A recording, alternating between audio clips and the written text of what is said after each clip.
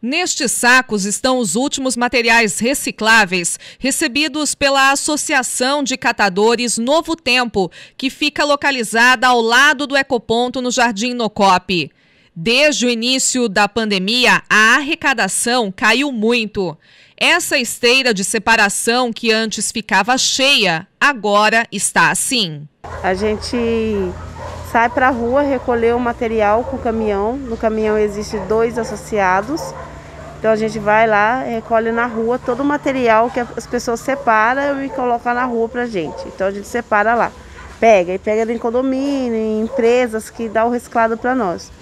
E aí chegando aqui, a gente coloca lá atrás do muro, puxa até a mesa da triagem e separa todo o material, porque a gente tem que separar por qualidade para poder ser vendido melhor. Sendo isso, depois de separação, nós prensa aqui na prensa para poder fazer os fardos, para vender. E aí esse dinheiro que entra é, tira os gastos e é dividido igualmente para todo mundo. 18 famílias dependem desse trabalho e sem material todos temem pelo futuro. Eu acho que a gente vai tirar uns 400, 500 reais esse mês.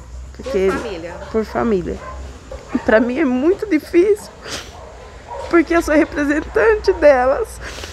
E aí como que eu vou fazer um pagamento de 500 reais, sabendo que tem gente que paga um aluguel que é 550, 600 reais. Então é muito difícil.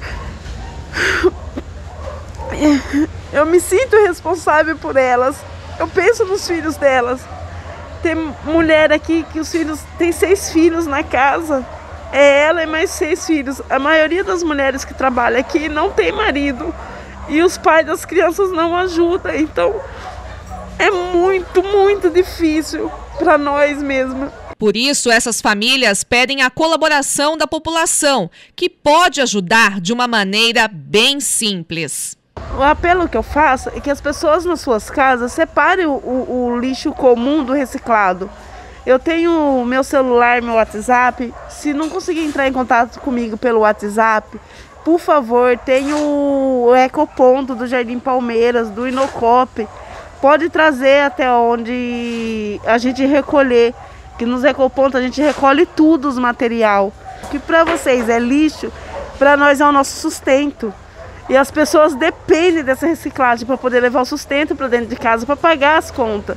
Tem muita gente que ajuda a gente com alimento, só que o alimento não vai pagar um aluguel. Um pacote de arroz não vai pagar um aluguel. Um, pacote de, de feijão não vai comprar, ir lá e pagar uma água, uma luz. Então é muito difícil para todas elas, é, porque nós não sabemos o que fazer. Nós estamos tá pedindo socorro para a população de Rio Claro. Jornal está em tudo, porque a informação está em todo lugar. Jornal está em tudo.